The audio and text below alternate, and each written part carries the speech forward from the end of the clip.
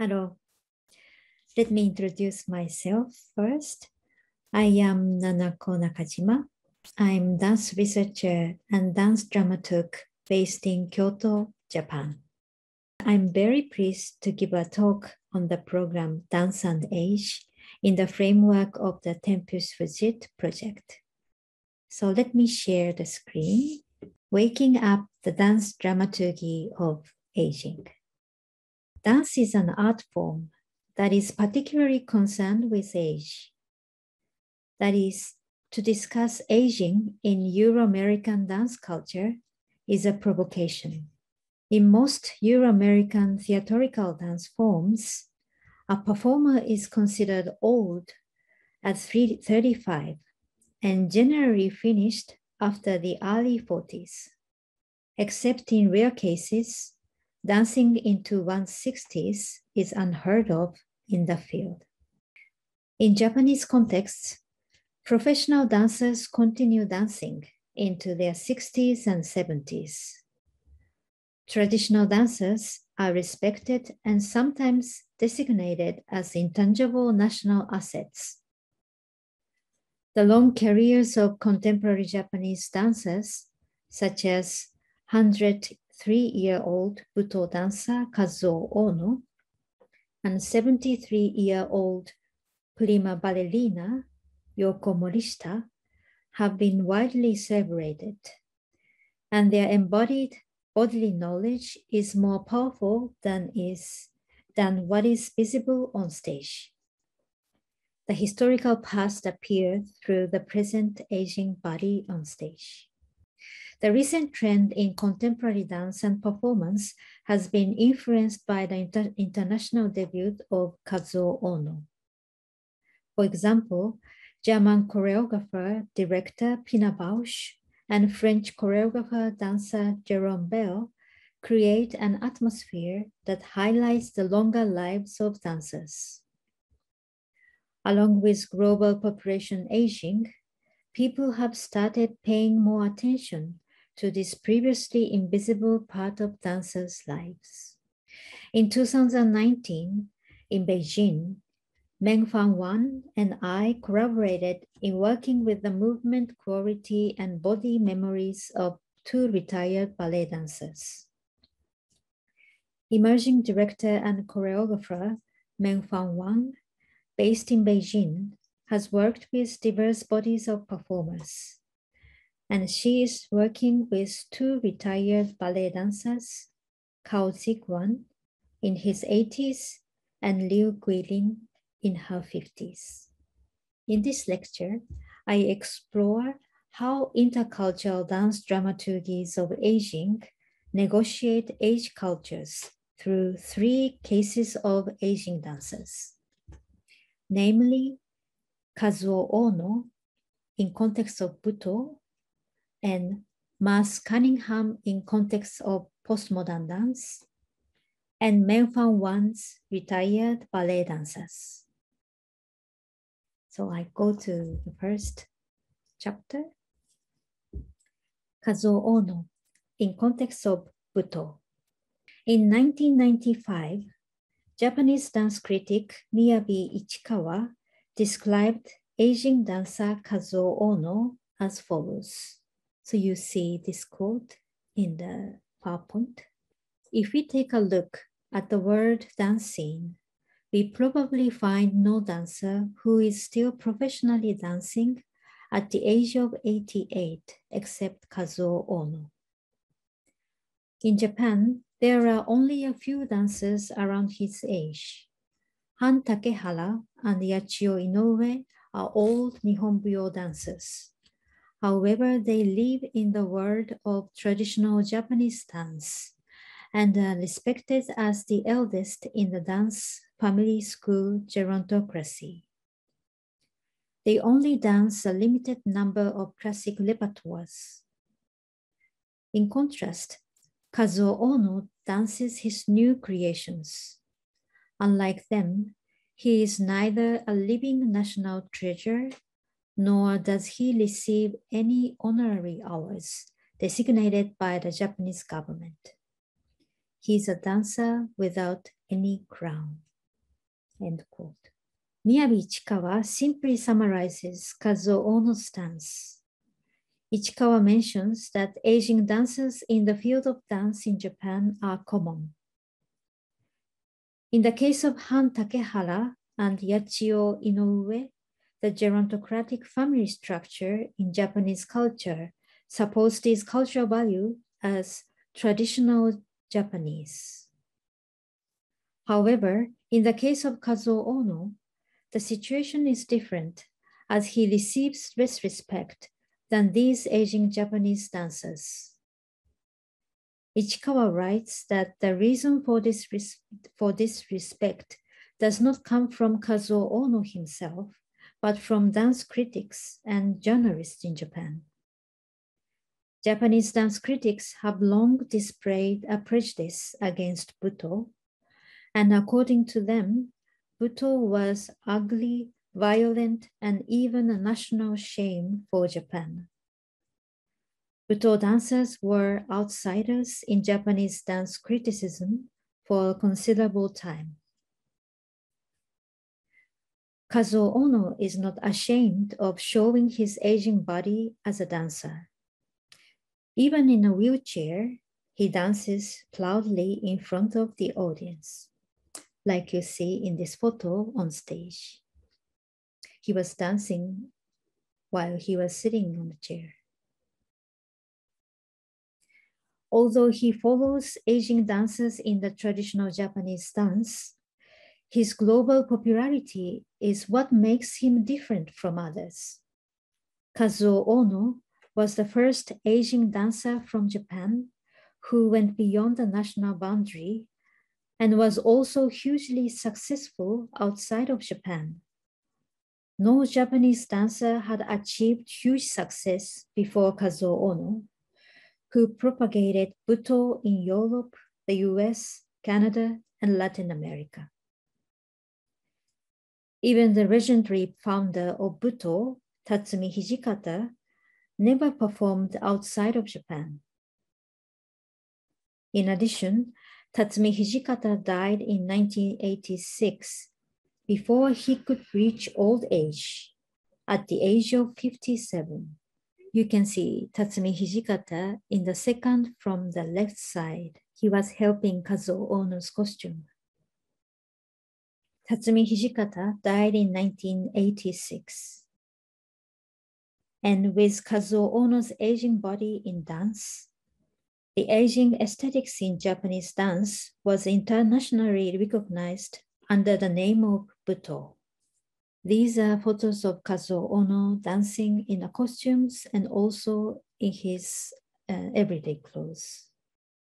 The activities of Kazuo Ono blur the Buto context and he is regarded as one of the founders this type of dance. Kazuo Ono inspired Tatsumi Hijikata before they danced together and established his modern dance studio in 1949. Ten years before Hijikata Tatsumi premiered Kinjiki, the first piece of Buto. However, Kazuo Ono came to represent Buto movement after his success in 1980 in France. How one locates Kazuo Ono's own activities in dance history is crucial to contextualize Buto within and without Japan. Moreover, this contextualization requires an intercultural perspective in the time of globalization. In a way similar to Kazuo Ono's performances, viewers are required to intertwine the Japanese context with that of world beyond Japan. So here I show the excerpt from the film by Daniel Schmid. And this film is called as Kazuo Ono. And it was uh, shot in 1995.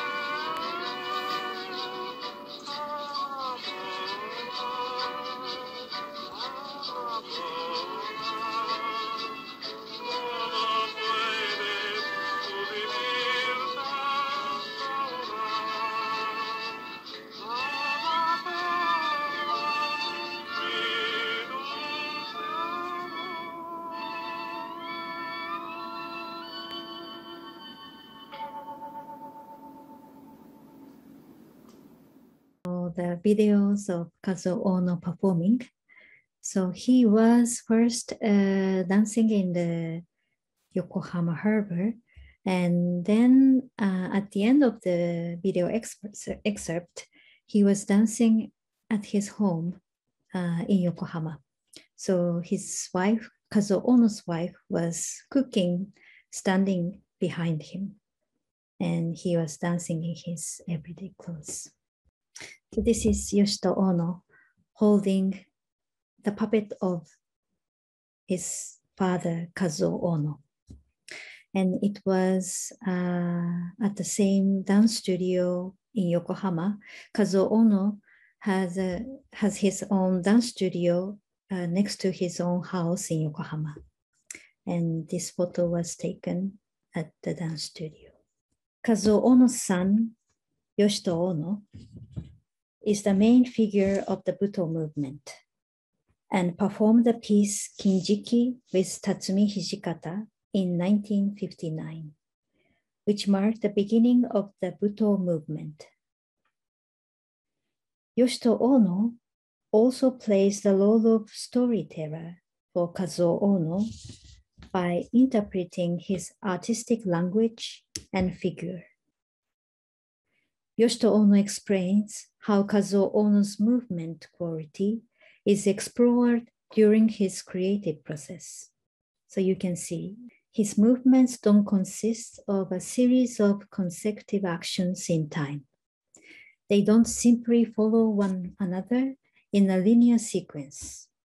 Instead, one has the impression that he thrusts deeper and deeper into each and every movement and step, as though he were moving within each movement.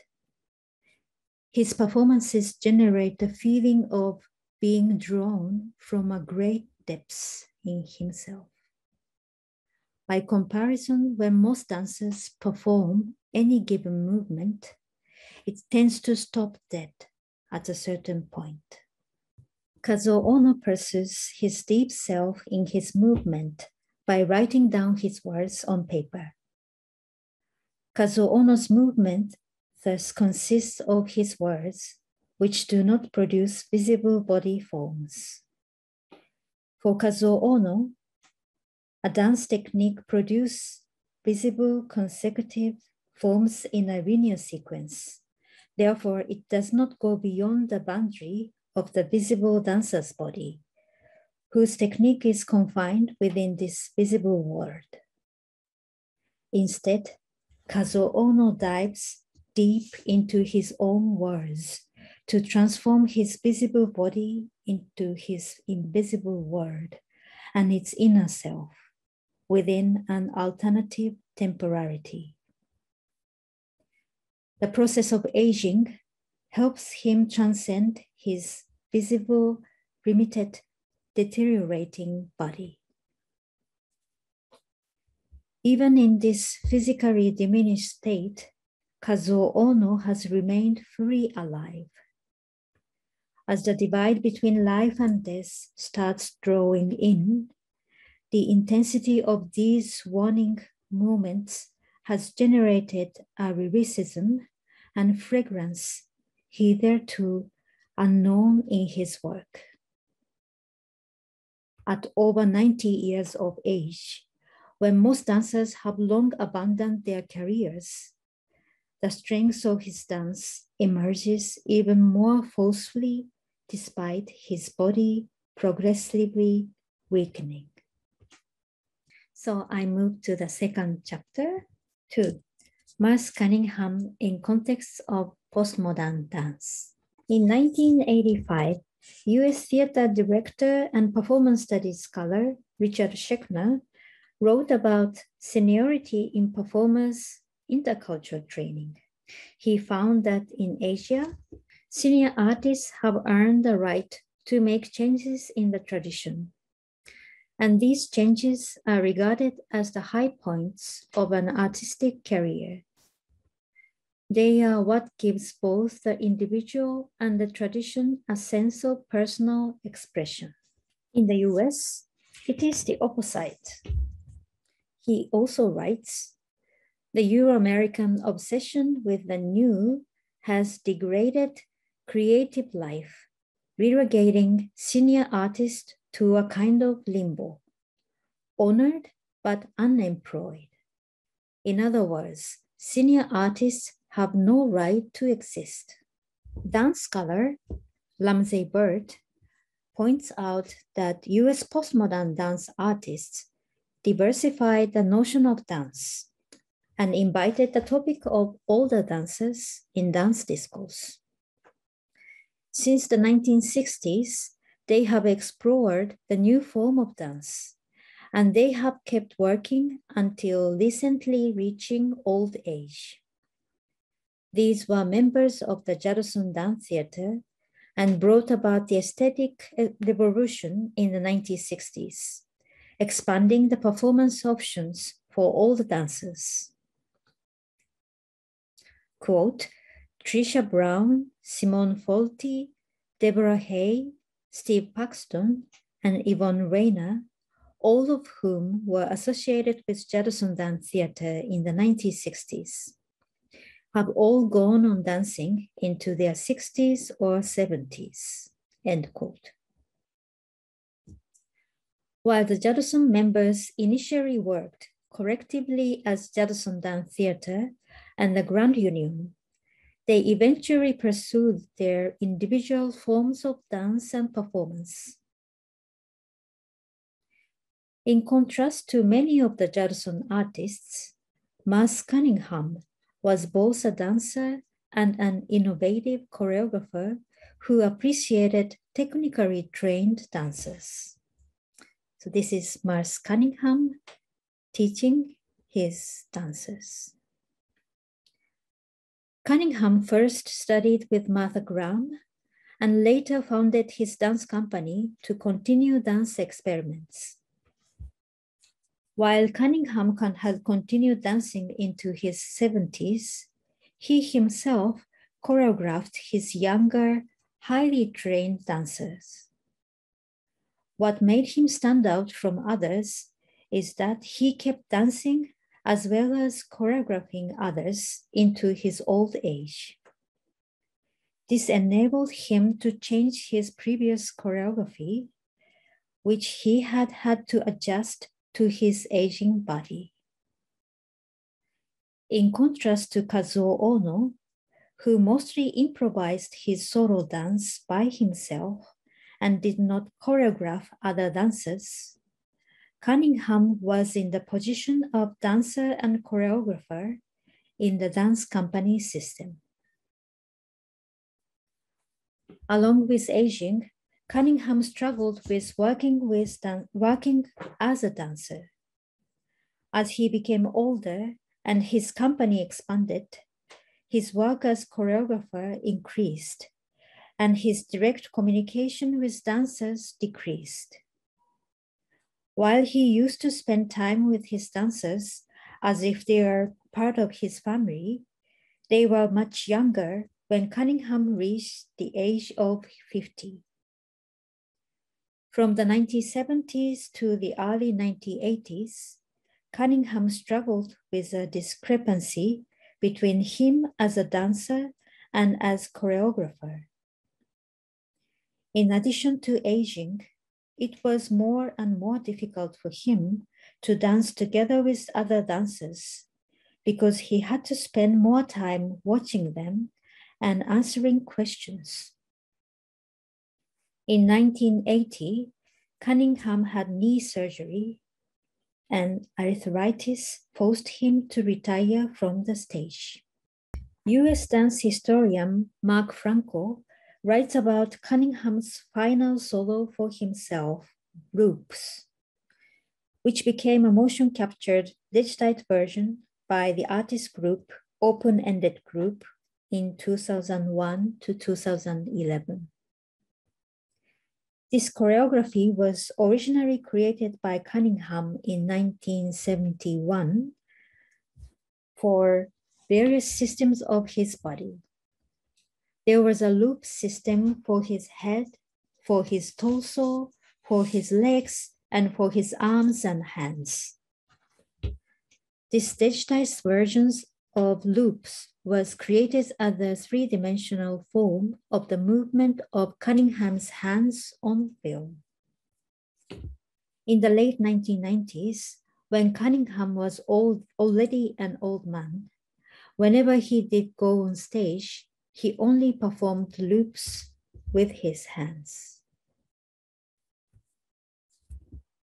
Paul Kaiser of the open-ended group explains that this is a piece that no one else could perform.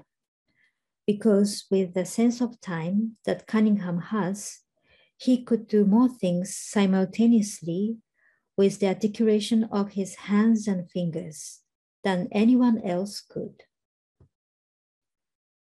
Loops is a different kind of choreography than what he created for his company's dances.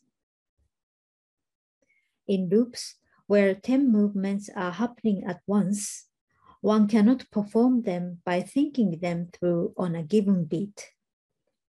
Instead, one must skip all that somehow and simply do them in the interval one has given oneself. According to Cunningham, this choreography is not teachable. So I show three photos here. Uh, the one on the top is actually the different piece called Biped in 1999. And this work is was in collaboration with Cunningham and the open-ended group using motion capture technology. So uh, Cunningham's dancers were dancing together with this uh, digitized image. And the second photo is Merce Cunningham himself uh, attached to the motion captured uh, censored. And the third one on the bottom is the photo from loops. So I show you these uh, digitized versions of uh, loops by the open-ended group and Cunningham.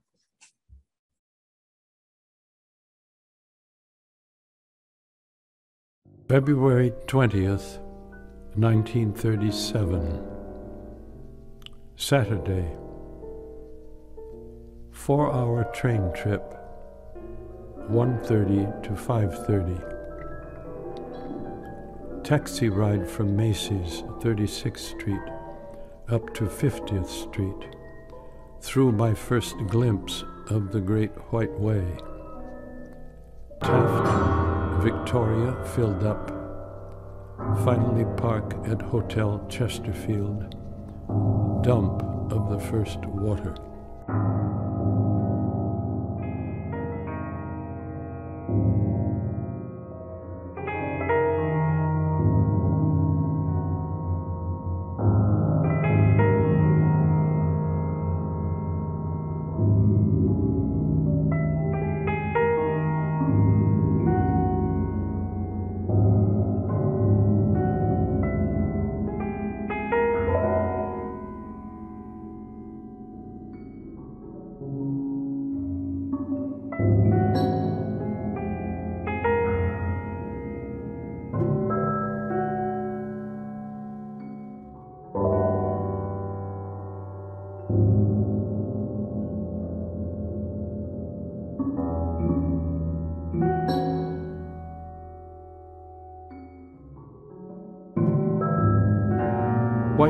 Inn something to marvel at. A bit of the Austrian Tyrol, translated to the Center Theater. Wonder what the backstage is like.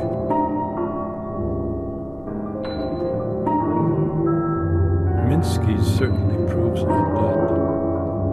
Burlesque, a lot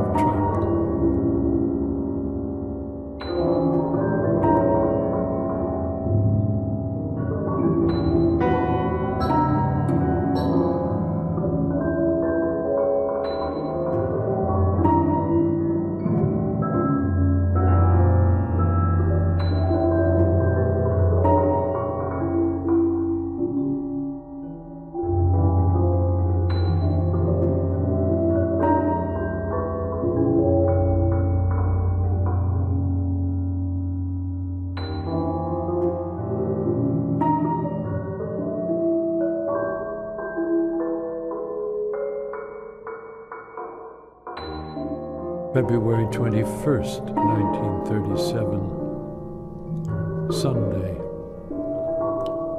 11 o'clock High Mass at St. Patrick's. Sermon on the Defense of Religion. My breakfast at the automat was interesting as well as edible.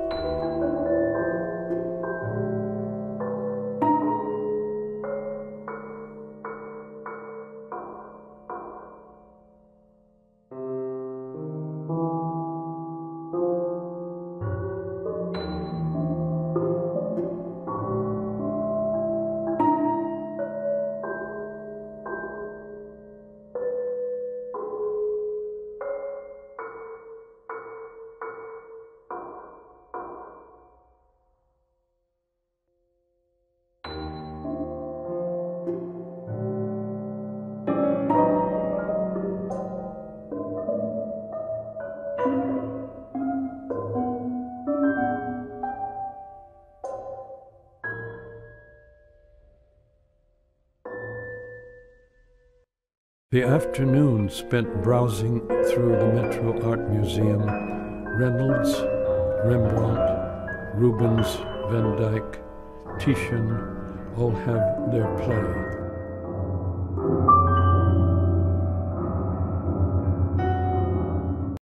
Groups uh, that you have just watched. Um, Mark Franko writes, as if Cunningham's whole aging body devolves into his hands.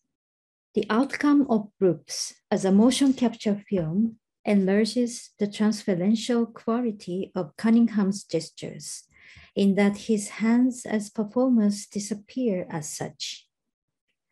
In other terms, it is a defiguration of the hands that ultimately speaks to this disability of the modernist gesture itself once it has become unmoored from the moral and ethical criteria of craft, handiwork, dancer's body, aging body, and disabled body, and finally lent itself to the instrumentalizations of the medium as such.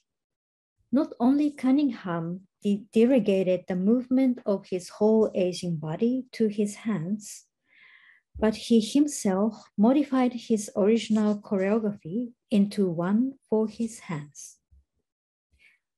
No one else but him can perform all the loops, including the one for the hands. For Cunningham, this is the piece for him to dance and choreograph eternally. So I move to the final part, uh, chapter three. Three, Waking Up the Aging Revolutionary Ballet Dancers. In 2019, director and choreographer Meng Fan Wang and I collaborated on the piece When My Cue Comes, Call Me and I Will Answer in Beijing, with the aim to work with the movement quality and body memories of two retired ballet dancers. This project explores the dramaturgy of aging in When My Cue Comes as a tool to legitimize aging ballet dancers in dance aesthetics.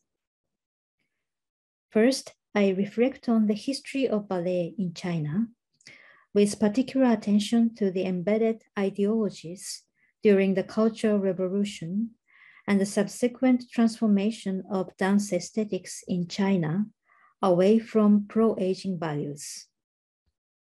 Then I demonstrate how this complex history manifests through the bodies of two aging dancers in When My Cue Comes, Call Me and I Will Answer, and how Wang uses various concepts to highlight these dancers. And this is Meng Fan Wang, and this piece, When My Cue Comes, uh, is directed and choreographed by Meng Fan Wang and premiered at Wuzhen Theatre Festival in 2019 and then presented in Beijing at Inside Out Theatre.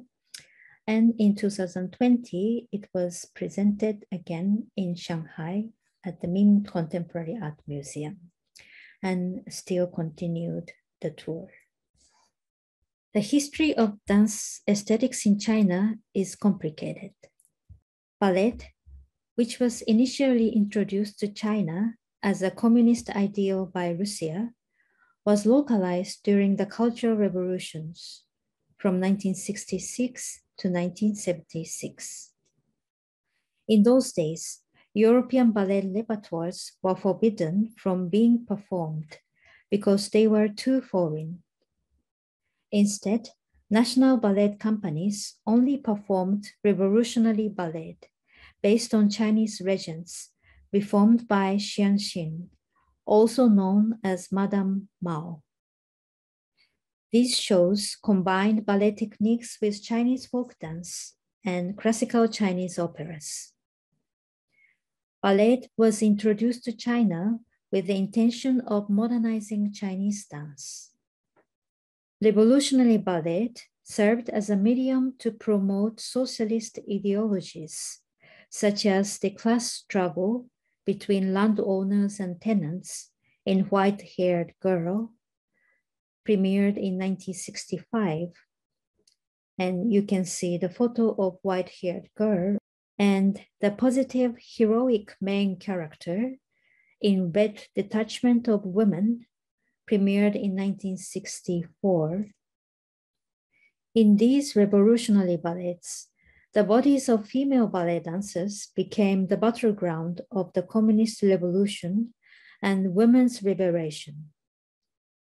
The revolutionary ballet was used as propaganda during the Cultural Revolution, which is considered a historical failure by the current Communist Party. Since communism in China is related to the idea of modernism, it follows that the revolutionary ballet dancers symbolize the ideal modern Chinese person.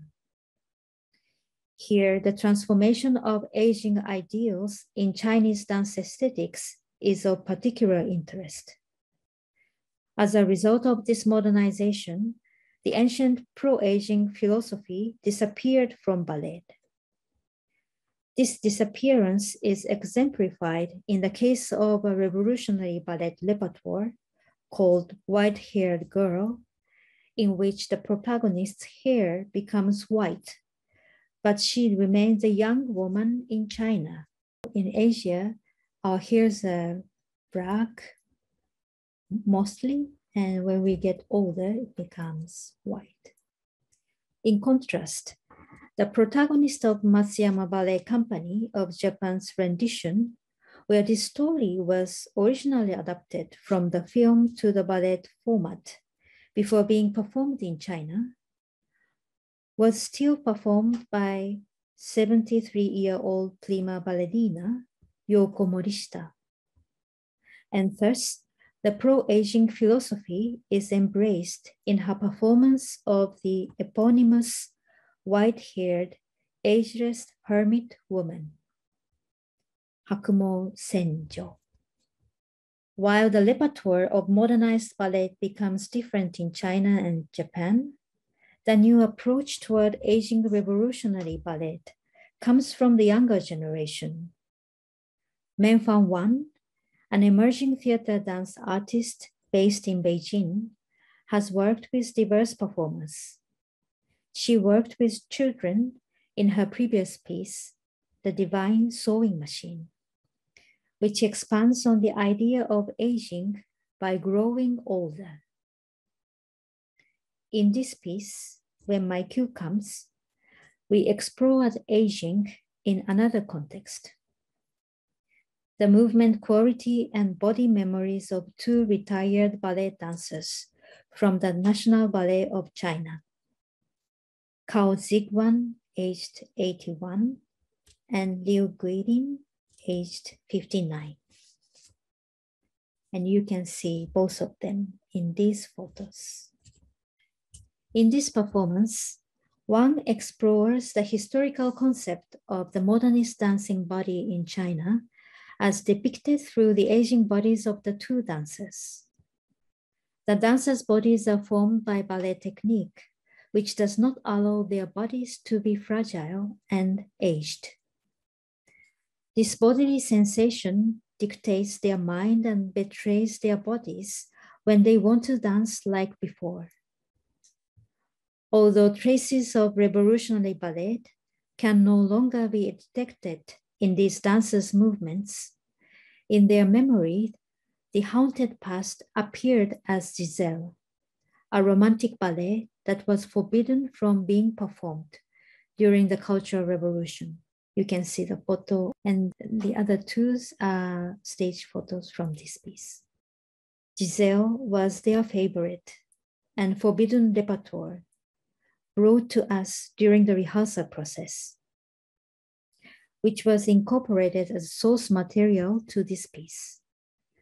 As a result, we work to revive the spirit of ballet among the aging modernist dancers in China to reveal the beauty and talent of their dancing, informed by the balletic past of the dancers, Wang tasked the aging dancers with reconnecting their bodies and mind through the Alexander technique and Feldenkrais method. In the early rehearsal days, Wang and her assistant choreographer practiced the Alexander technique to help these dancers feel the bodies from different perspective. While Mr. Cao was sitting, they used their hands and their warmth to give him a right massage, to release the tension in his muscle and put all his weight on his feet. At the end, they led Mr. Cao to stand up with eyes closed and finished with a warm hug. The whole process took 40 minutes and they exchanged energy.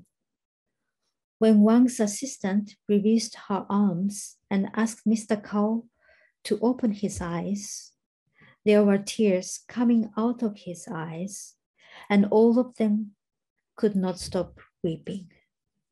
In this production, Wang has been looking for a kind of movement quality that could only be reached by ballet dancers based on their body memories and abilities. While these ballet dancers have already had a systematic training to the demand of cleanness and preciseness, they are no longer able to achieve this quality. Wang believes that their memories may be transformed into a physical sensation that helps them understand their aging bodies. As opposed to the Euro American dancers, ballet technique has been the other to the self represented by Chinese dance. These ballet dancers have devoted their lives and supported the part of other to modernize Chinese dance. Wang has attempted to remove the trace of revolutionary ballet from their bodily memories to go beyond any kind of aesthetics of ballet. At the Inside Out Theater in Beijing, this performance was presented on stage, while the audience area was also set up on stage. The audience looked at the aging ballet dancers closely and at the empty standing seats behind them. So as you can see in this photo, and this photo was uh, during the post-performance talk at the Inside Out Theater in Beijing, the performers are on stage, but from this side, from the audience side, we can see the seating areas behind them. And these seats were in red.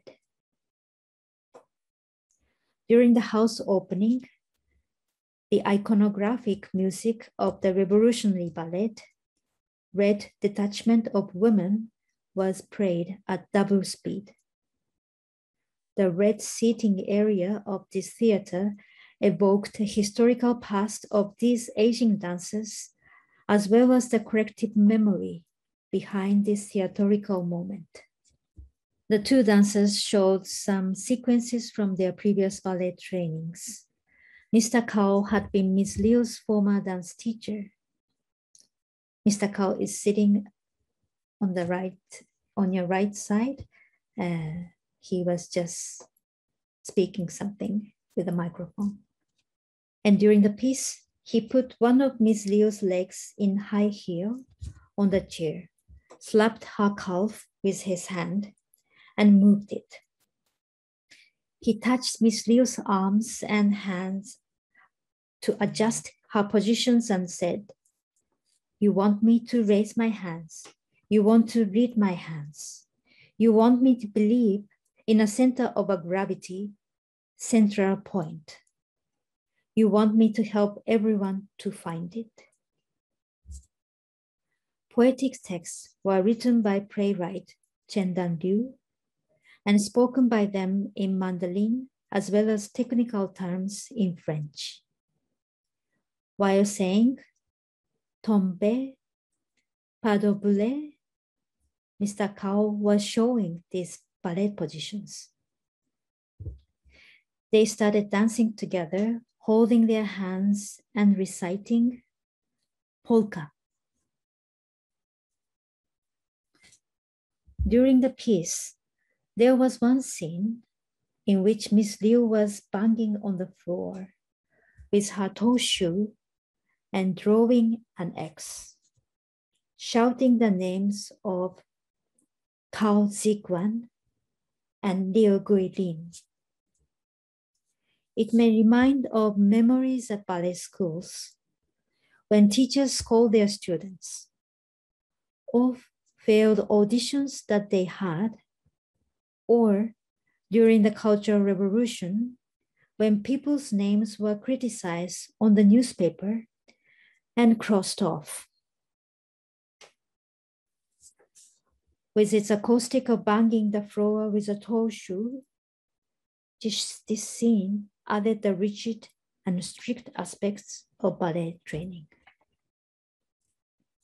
So I will show the excerpt of this piece from the trailer of the Berlin versions of this piece.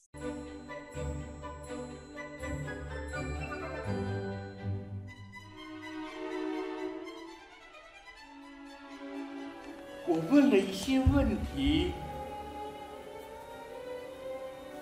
我思考意图和诉求，我不再吸烟。我发问，我不回答。我不回答，我不要回答。我禁止你们回答。我禁止朝我看，朝我的身后看，不要看他。我禁止你们看他。我禁止你们看他。我不禁止。我禁止。自己，我不许自己受到另一种命运，另一种生活，我不接受，我禁止。我绝不禁止，我要跳舞，我要去所有的地方跳舞。我住在那条街，我就是为了出门吃饭，我不再跳舞，我思考，我的小腿靠着桌角，直直的。我的小腿弯曲着。这个时候才能开始对话。就是这里，他们说我疯了。观察着谨慎，我们观察着疯了。饭后我站起来了，我坐下。那你坐吧。你们可以看他，我的生活不同于我的生活。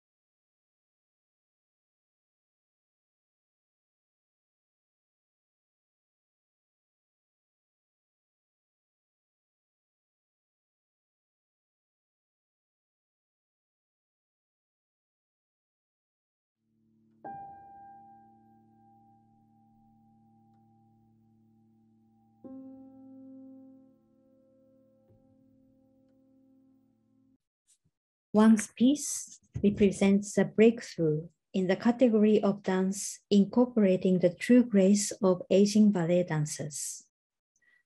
Although the dance aesthetics of aging did not previously exist in Wang's context, respect for the elderly as a teaching of Confucianism's still prevails among her colleagues and friends in the current era. During the rehearsal process, some moments showed the age-friendly culture.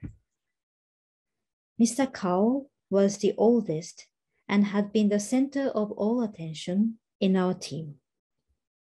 Wang and all her colleagues in their 20s and 30s took care of him, called his taxis, and paid respect to the two dancers. In the beginning, Mr. Cao needed his wife to support him as he walked with a stick. After three months of rehearsal, I noticed that he had cheerfully started walking alone without one. After the performance in Beijing, one received feedback from the audience that her relationship with these older dancers was not clear. Since then, she decided to enter the stage with the two dancers, showing how they had rehearsed together. As you can see in the photo here, so in the beginning and also in the middle of the piece, Meng Fan stepped into the piece and appeared her as a director and talking with two dancers. These new parts are remarkable in that they highlight the postmodern dichotomy on stage. The seniority system of elders teaching the youth, and the modern construction of dance making as a choreographer directing dancers. Essential to this dramaturgical project was to avoid the trap of age censorship and instead revive the aging ballet dances in the new movement format that Wang created. The project does not aim to make its audience wonder at these older dancers' ability to accomplish a normative dancing body. Instead, it seeks to reconcile the past, which is connected to the cultural revolution in China when the age hierarchy was turned upside down.